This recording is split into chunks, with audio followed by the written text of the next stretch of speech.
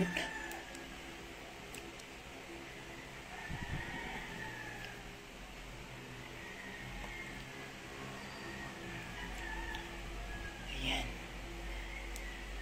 Hello, magandang hapon po sa ating lahat. Magandang magandang hapon po sa ating lahat. Sorry, medyo na late po tayo ngayon at medyo sumakit yung i sumakit yung init ko. Sumakit po yung ulo ko ng konti dahil po sa sobrang init dito. Sobrang init po. Na hindi naman siya mainit kaya lang napakalinsangan. Hello po kay Ma'am Mariela Jurado. Good evening po sa inyo, Ma'am Mariela Jurado. Hello po kay Sis Destiny Rose, dyan po sa Ontario, Canada. Take care din po sa inyo, sis, and God bless po. Ganon din po kay Ma'am Josie Martin. Kay Ma'am Josie Martin, shout out po sa inyo, Ma'am Josie Martin. Hello po kay Ma'am Vicky Moralde. Good evening po. Good afternoon. Good evening na kagad. Good afternoon po sa inyo, Ma'am Vicky Moralde. Napaka-alinsangan po dito sa lugar namin. Sobrang alinsangan dito. Hello po kay Ma'am Luz, Paglingayin del Monte at kay Ma'am Dorondon Sopea, kay Ma'am Tess Cuenca at kay Ma'am Rosa Miel. Ganon din kay Ma'am Susan Sanchez. Hello po, good afternoon po sa ating lahat. So ngayon guys ay nandito na naman po tayo muli.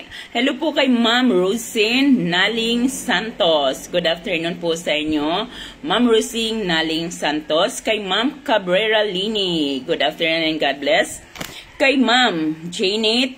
Kay Ma'am Janet Bosa. Kay Ma'am Ruid Velasco, good afternoon po. Ganon din po kay Ma'am Linda Carpio. Shout out po sa Carpio family dyan po sa Cagayan de Oro City.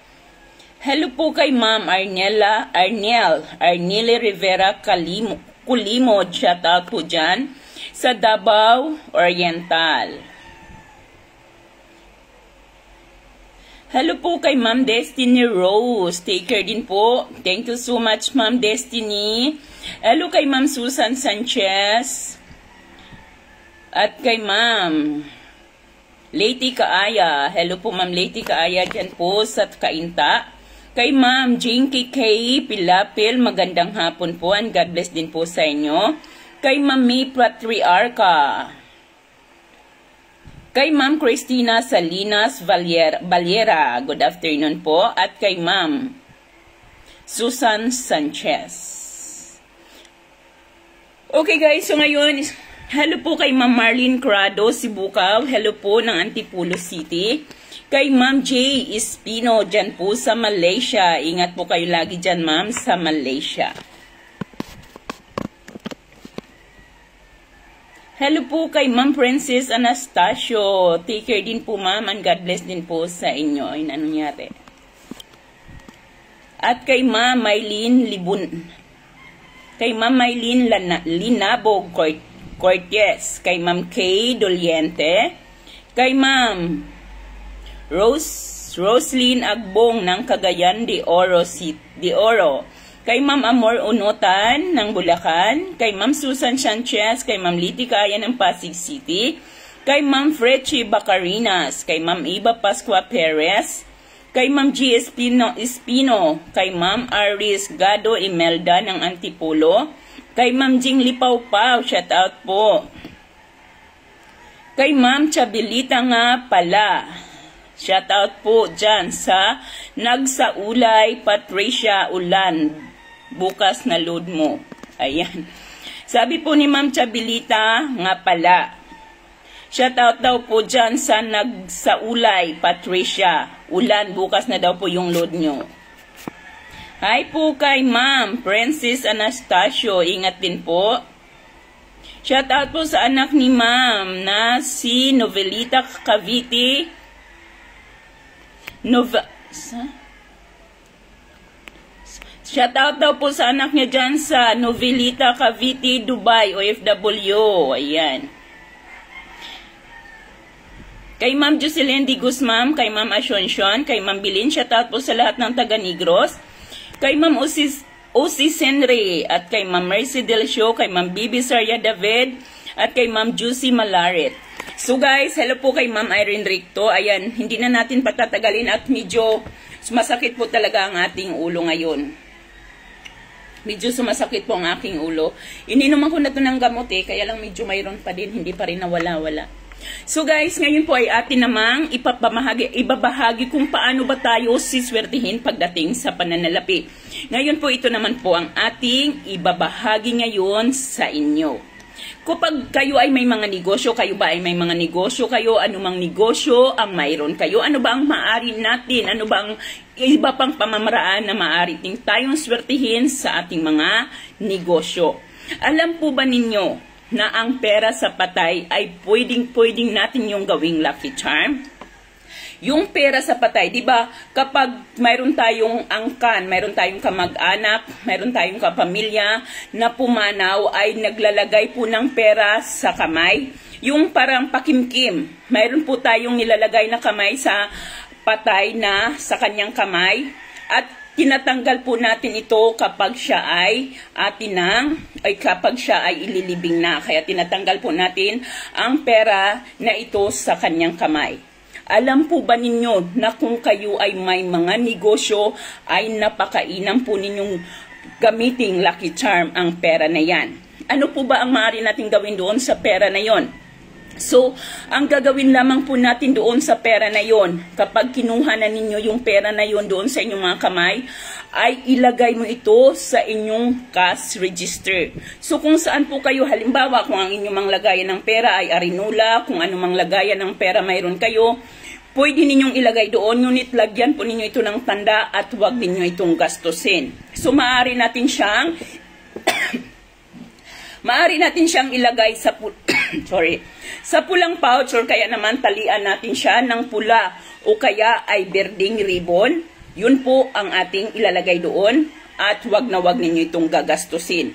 Ilalagay mo lamang ito sa lagayan ng pera. Kung wala naman po kayong lagayan ng pera, halimbawa ang inyong mga business ay online, online ang inyong negosyo, ang gawin po ninyo doon sa perang yun ay ilagay po ninyo sa inyong mga pitaka. Kapag inilagay po ninyo ito sa inyong pitaka, tiyakin po ninyo na hindi po ninyo ito magagastos dahil ayan po ang inyong magsisilbing lucky charm. So wag na wag iyang gagastusin. Kailangan ay mananatili doon yung perang iyon upang ang iyong negosyo ay tuluyang lalago at lalago.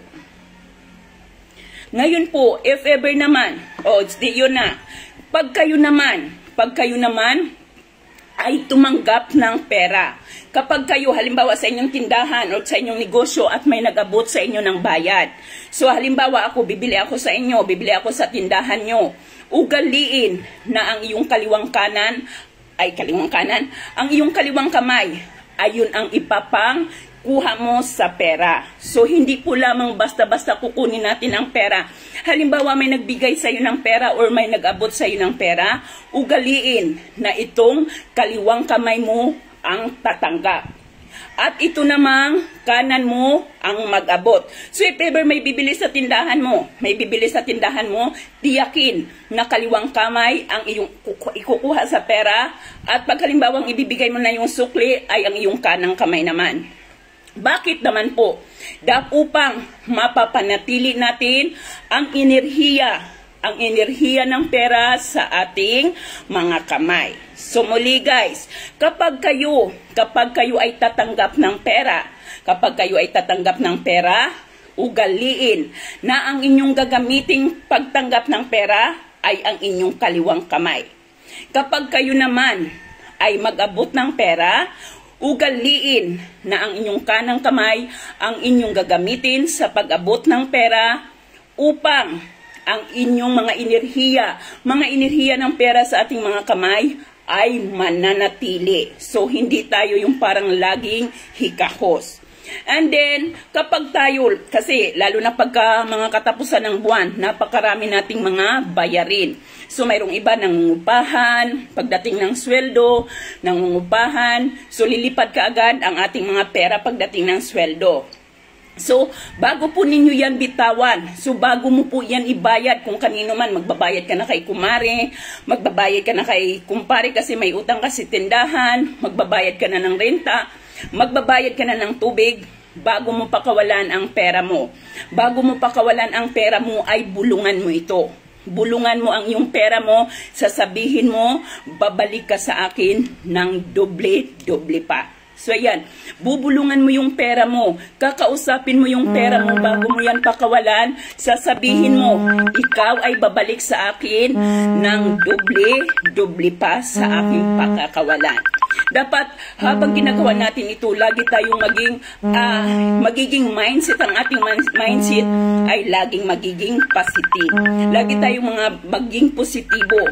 Pero lahat naman po ng ito ng ating mga ibinabahagi, ang lahat po ng ating ibinabahagi ngayon ay para po lamang sa mga naniniwala. So yung mga hindi po naniniwala, hindi po natin sila mapipilit na mga maniniwala dahil bawat isa po sa atin ay may kanya-kanyang mindset. So may kanya-kanya po tayong mindset.